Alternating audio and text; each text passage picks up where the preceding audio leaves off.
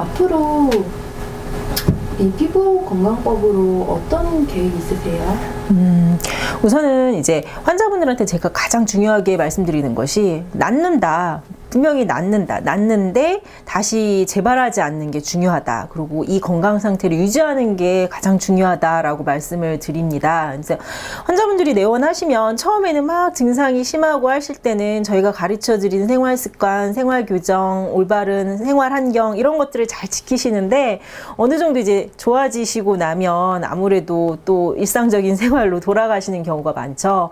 그러다 보니까 이제 조금 또 건강이 해쳐지고 이러는 경우가 많은데 그렇지 않도록 어, 주기적인 교육이나 생활 교육을 그 다음에 뭐 어, 잘못된 생활 습관이 있으면 교정을 받으리는 그런 교육의 기회를 만들면 어떨까라는 생각이 있습니다. 그래서 뭐 학교 라고 얘기할 수도 있겠고요. 그런 교육 과정을 좀 만들까라는 생각이 있고요.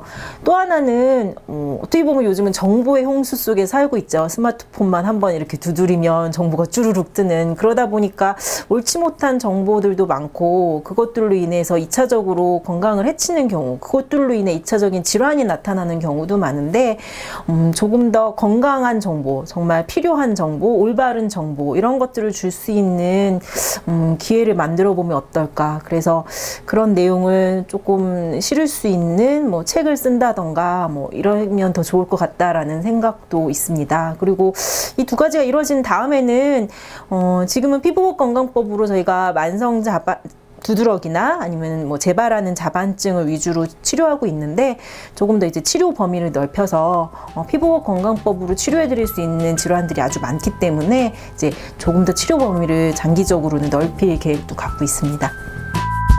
Thank you.